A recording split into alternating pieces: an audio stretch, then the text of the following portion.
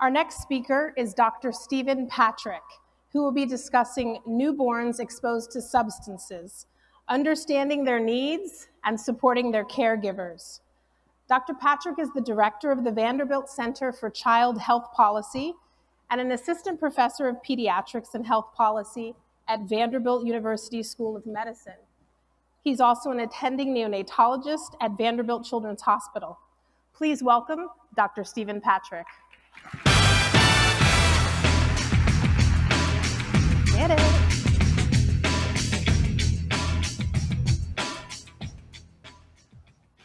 First thing that comes to your mind when you think about the birth of a newborn?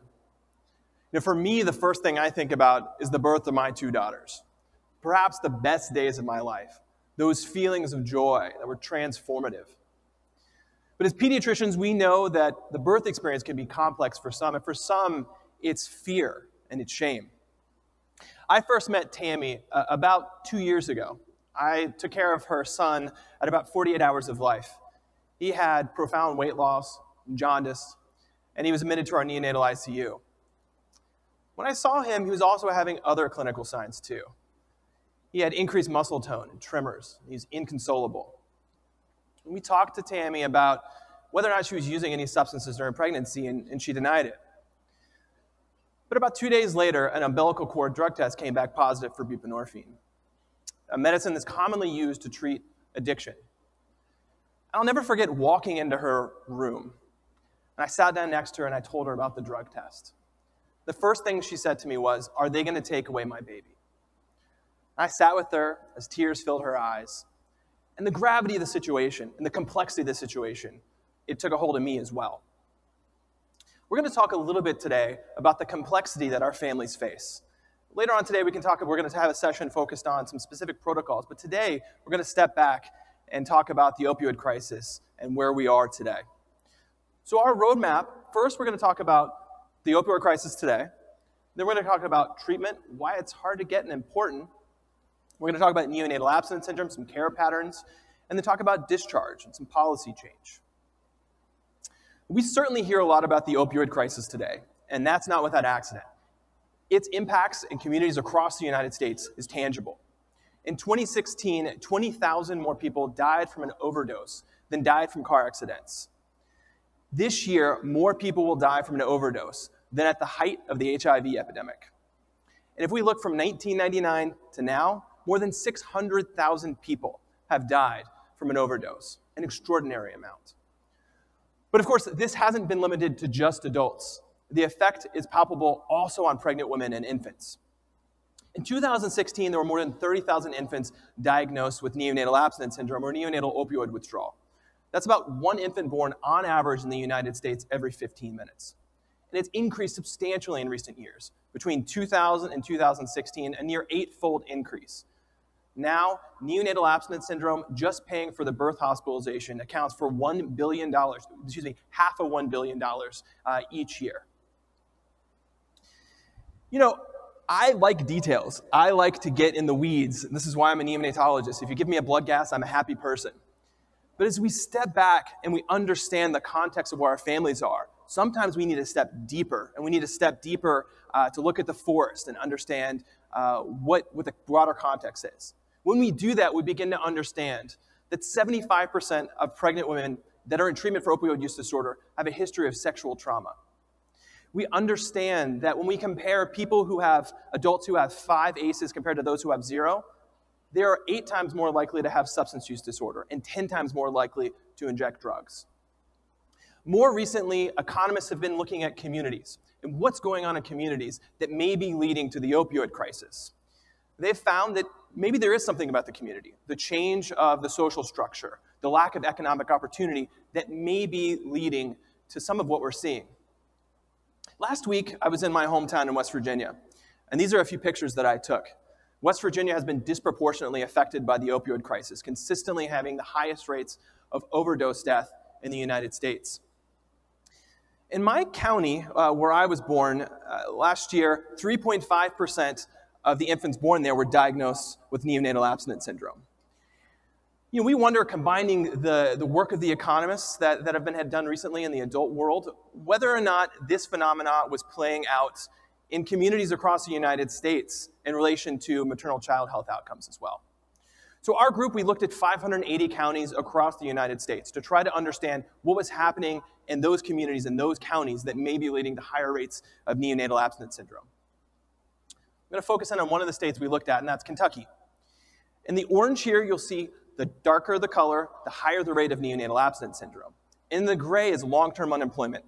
We looked at a 10 year moving average at the county level. If you look just visually, you can see how these over, overlay.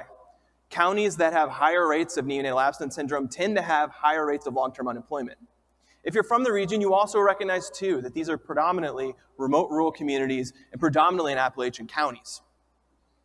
Overall, in the study period, we found that long term unemployment increased from 6.5 to 8.2%. And of course, we studied during a period of the Great Recession as well.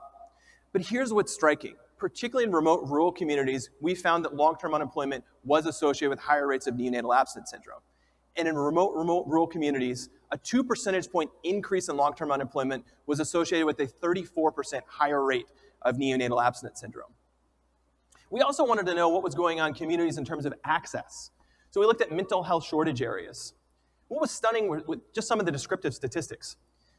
When we looked at urban communities, 80%, based upon HRSA's definitions, were mental health partial or complete shortage areas, going up to 90% in remote rural communities. In this study, we also found that counties that had shortages of mental health providers also had higher rates of neonatal abstinence syndrome. The thought being that we have untreated mental health uh, disorders that go on for a long period of time, subsequently lead to opioid use disorder, and then infants with neonatal abstinence syndrome. So, why does this matter? This can feel daunting. It's part of the broader context. Oftentimes, we talk about the opioid and the drug withdrawal. And look, there's no question that relationships exist. In my home state of West Virginia, again, uh, in a town called Kermit, West Virginia, McKesson at one point was putting 10,000 pills of opioids a day into a, into a town that had a population of 400. That is certainly part of, the, part of the problem. But this is also part of the problem as well. I want to talk about treatment, why it's important and why it's hard to get as well. We know that medications for opioid use disorder improve lives, improve outcomes. For pregnant women with opioid use disorder, the research is pretty clear. It reduces risk of relapse and overdose death, as well as HIV and hepatitis C. And for infants, they're more likely to go to term and have higher birth weights, though it does come with some risk of drug withdrawal. Despite the overwhelming evidence that these medications work, only about half of pregnant women with opioid use disorder who get into treatment today get medications for opioid use disorder. Again, in our team, we wanted to understand what were some of the barriers. And look, we know that the barriers getting into treatment may be complex and some are personal, and maybe you don't think you need to get into treatment. But we wanted to look at what were some of the institutional barriers. So we did a, a field experiment, a randomized secret shopper study, where we had pregnant women and women of reproductive age trying to get into treatment. We used the publicly available SAMHSA treatment locator to do this. So this is the list where people say, go if you need to get treatment. We called 10,000 times in 10 states. About 70% of the time, we couldn't get anybody on the other end of the phone. The reasons for that were number one, we tried more than five times and couldn't reach anybody. And number two, they were a medical office that no longer provided addiction treatment. But for the times that we did get someone on the, on the phone, we found that pregnant women were less likely to be accepted in communities by a substantial margin. So, what do we think is happening? We think that in part, we have obstetricians who are not comfortable taking care of addiction, and addiction medicine docs that are not comfortable taking care of pregnant women. And pregnant women are, are lost in the middle. So, as we talk about moving ahead, how can we do this differently in our hospital systems? How can we engage families in this complex uh, mashup of trauma? I want to talk about how models of care have shifted across the United States and including in our institution as well. The traditional model of care for caring for neonatal abstinence syndrome is by far the most common across the United States, is to separate mom and baby. The infant has signs of drug withdrawal, they go off to a neonatal ICU, and we treat them separately. More recently, what we've seen are newer care models where we keep mom and babies together and we try to support the dyad holistically. This is what we've done at, at Vanderbilt as well, learning from many of our colleagues around the country. So we built a team that we call Team Hope. It includes obstetricians, uh, newborn medicine docs, neonatologists, hospitalists, but it also includes a multidisciplinary team, social work, child life, and lactation. In the last two years alone, we've had nearly 270 opioid exposed infants greater than 35 weeks who didn't have another reason to go to the neonatal ICU that we've cared for in this program. And here's what we've seen. We've only treated about 20% of our infants with morphine. This is far lower than we were before. Just keeping mom and baby together seems to be working.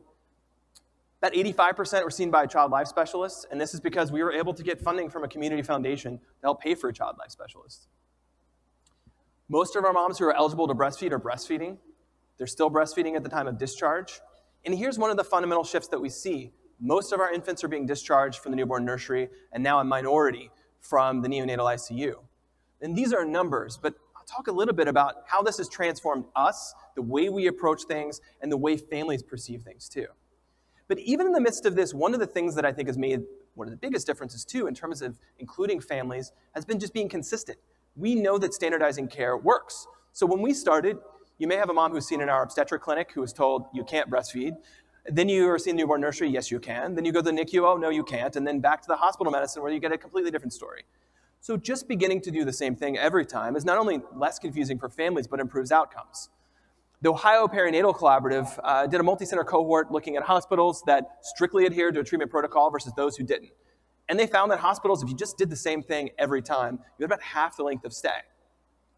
Similarly, the Vermont Oxford Network had a collaborative of 200 hospitals in North America that found as hospitals standardized what they did, they saw reduced length of treatment and reduced length of stay.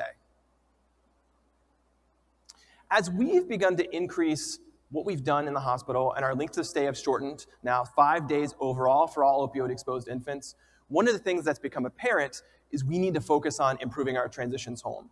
One of the things I worry about a lot in this space is just collectively, there is so much focus on reducing length of stay without thinking through what's going to happen to our families as they go home. So, what could a good discharge look like? Well, first it begins with what happens in the hospital.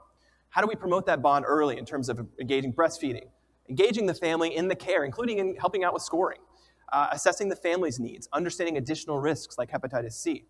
And considers the post-discharge needs. How can we better connect to, uh, to outside hospital services, including home visitation, positive partnerships with child welfare, early intervention, more frequent pediatrician follow-up, and coordination with maternal treatment. So we're a pretty engaged group. Uh, we, we, you know, we've been focusing on this for a couple of years. We looked to see how well we were doing. How well were we actually making the referral to early intervention? Scheduling an appointment for a pediatrician, scheduling a follow-up for hepatitis C if we needed to, and a couple other factors. We were doing it 2% of the time, every time, a pretty low amount. So we just paid attention to what we were doing differently. We created a checklist, uh, and then we increased pretty quickly to 60%. But I think part of the issue that we're finding is that this connection to what happens after discharge is just increasingly important.